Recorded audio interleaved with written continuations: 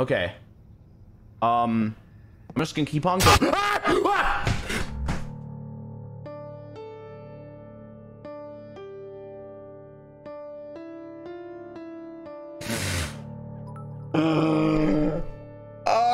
oh! Oh my god!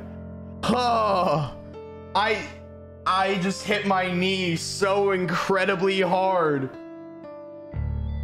I just I just hit my knee so incredibly hard on the desk. I jumped. I genuinely jumped. Wow. Whoa. Whoa, okay. All right. What was that bang? I hit my knee on the desk because I got scared because of the game. Oh my god, I thought you smashed. Nope. Just scary game. There he goes.